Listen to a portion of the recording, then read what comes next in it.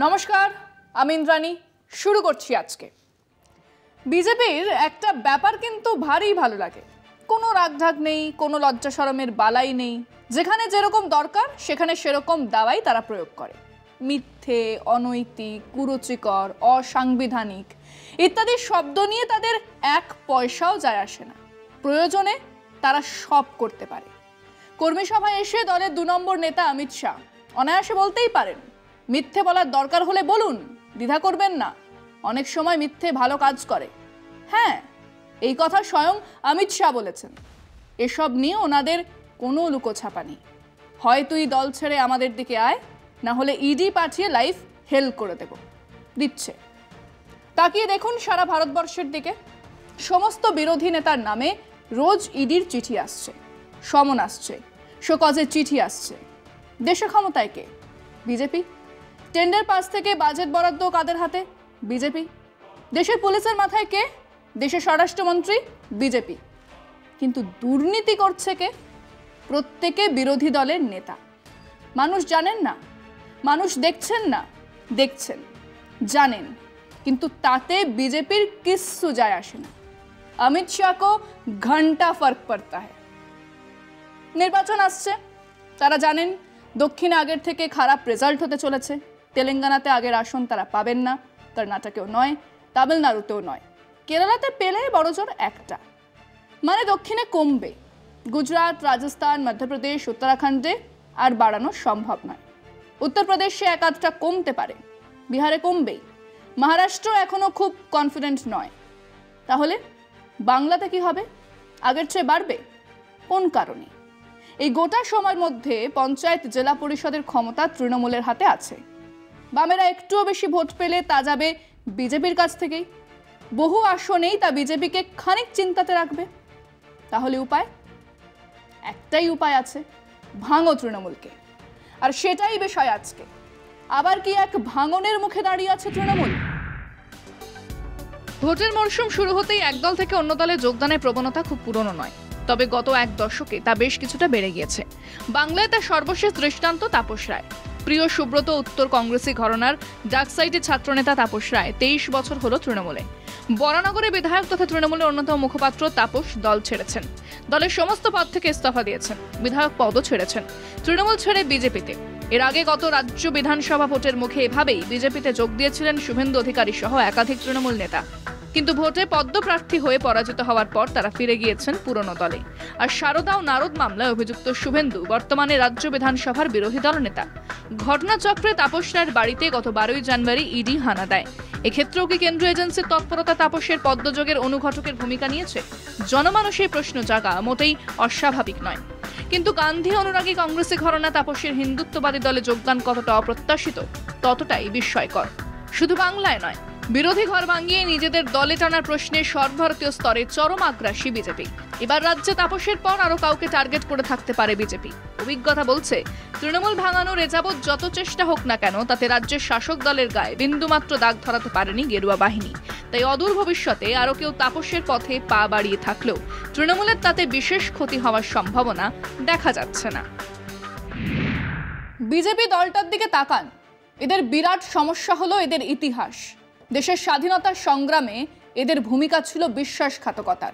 ইংরেজদের কাছে মুচ্চুলেকা দেবার। কাজেই কোনো ইতিহাস নেই। সেই দলের এজেন্ডা হিন্দুত্ব। কাজেই কিছুদিন আগে পর্যন্ত কোনো মানুষ এই দল করবেন কেন? তা নিয়ে প্রশ্ন ছিল অনেক। কিন্তু দু হাজার পর থেকে সেই ছবিটা বদলে দিয়েছেন মোদী, অমিত শাহ। দেশের যত দল আছে, প্রত্যেক দল থেকে ক্ষমতালোভী, উচ্চাকাঙ্ক্ষা আছে এমন নেতাদের নিজেদের দিকে নিয়ে গেছেন। পদ্ধতি প্রায় সব ক্ষেত্রেই একই। প্রথমে ইজিকে পাঠাও, তারপর সমঝোতার সূত্রটা বুঝিয়ে দাও, তারপর হয় জেলে না হয় বিজেপিতে বাহান্ন সাল থেকে দেশে ভোট হচ্ছে। হাজার একটা রাজনৈতিক দল আছে, তারা ভোটে লড়েছে। একটা দলও দেখাতে পারবেন যে দলের যোগদান কমিটি আছে। কারা যোগ দেবে? ইউনিভার্সিটির ছাত্র কারখানা শ্রমিক, গ্রামের কৃষক? না। ওই যোগদান কমিটির কাজ হলো অন্য দল থেকে নেতাকর্মীদের বিজেপিতে সামিল করা। দু হাজার একুশের কথা ভাবুন। হঠাৎ এমনটাও মনে হচ্ছিল যে তৃণমূল দলটা থাকবে তো? এদিকে শুভেন্দু, ওদিকে রাজীব ব্যানার্জি, সেদিকে প্রবীর ঘোষাল, অন্যদিকে রুদ্রনীল ঘোষ সমেত টলিউডের ঝিঙ্কু মামনিরা, পার্নো, অঞ্জনা, কাঞ্চনা, রিমঝিম, আরও অনেকে। সব মিলিয়ে যাদের দেখা যেত মমতার আশেপাশে যাদের অনেকে মমতাকে মা বলতেন, তারা হঠাৎই মমতার মধ্যে এক ডাইনিকে দেখে ফেললেন এবং চার্টার প্লেনে করে দিল্লি।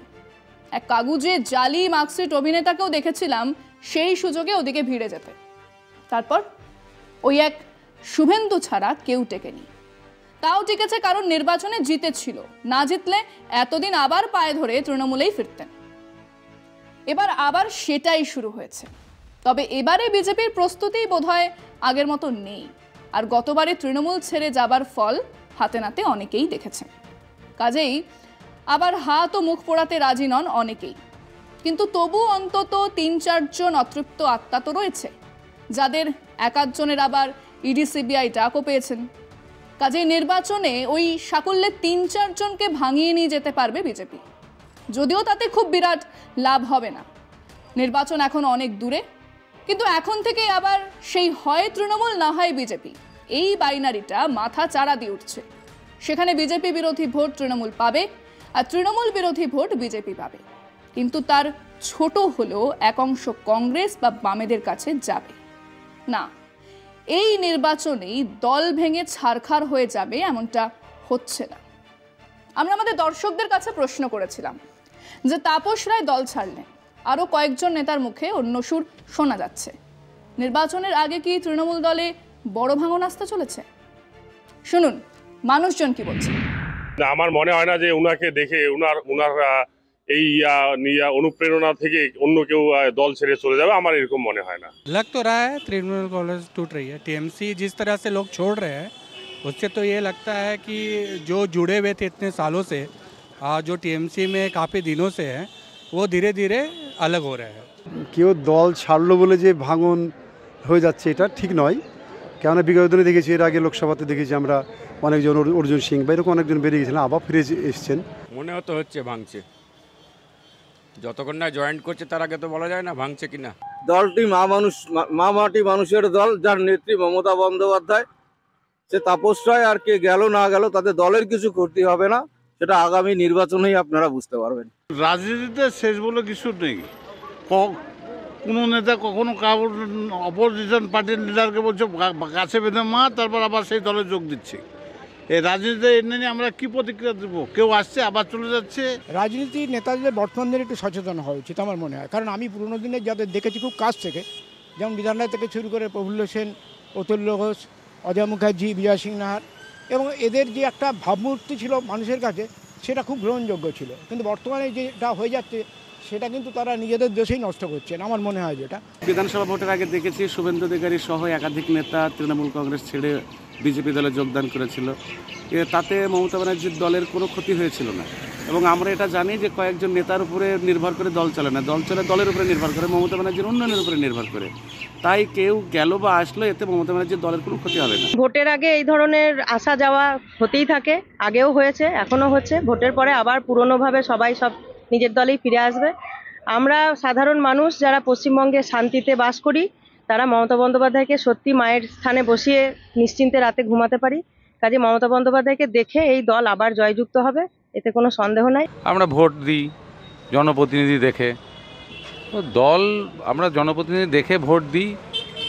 এবার জনপ্রতিনিধি যখন অন্য দলে দল পরিবর্তন করে আমাদের মনটা খারাপ হয় যে আমরা তো তাকে ভোট দিয়েছিলাম। তো এই হিরিকটা না থাকাই ভালো। পুরো তো ভাঙবে না কিছুটা তো ভাঙবে আর কিছুটা ক্ষতিও হবে। রাজনীতির ক্ষেত্রে দল বদলটা এখন একটা নিয়মের পর্যায়ে চলে গেছে। কার কোন দল ভালো লাগছে না লাগছে সকাল সন্ধ্যায় তারা দল পরিবর্তন করছেন এটা তাপস রায়ের ব্যক্তিগত ব্যাপার। দল ছেড়ে বেরিয়ে যাবেন মানে নিজে থাকতে পারেনি তাই বেরিয়ে গেছেন। এটা উনি গেছেন বলে আর সবাই চলে যাবে তার কোনো মানে নেই। এইসব ভাঙন টাঙনে কিছু হবে না লোকসভা নির্বাচনে আমাদের যতদূর ধারণা তৃণমূল কংগ্রেসই আবার জয়লাভ করবে। না এখনই তৃণমূল ভেঙে যাবার কোনো সম্ভাবনা নেই। কিন্তু এখন নেই বলে কি কখনো নেই? আছে। বিজেপি যদি সারা দেশে আবার এক বিরাট মেজরিটি নিয়ে ক্ষমতায় আসে তাহলে কোনো বিরোধী দলই সুরক্ষিত নয়। দেশের সব বিরোধী দলকে ভেঙে চুরমার করে দেবে বিজেপি। দেশের গণতান্ত্রিক কাঠামোকে নিয়েই প্রশ্ন উঠবে। দেশের যুক্তরাষ্ট্রীয় কাঠামো নিয়ে প্রশ্ন উঠবে। সেই দুর্যোগ কি করে সামলাবে দেশের বিরোধী দলগুলো? তার উপায় আজকেই খুঁজে বার করতে হবে। আজকে পর্যন্তই। দেখতে থাকুন কলকাতা টিভি, রাত দিন, সাত দিন।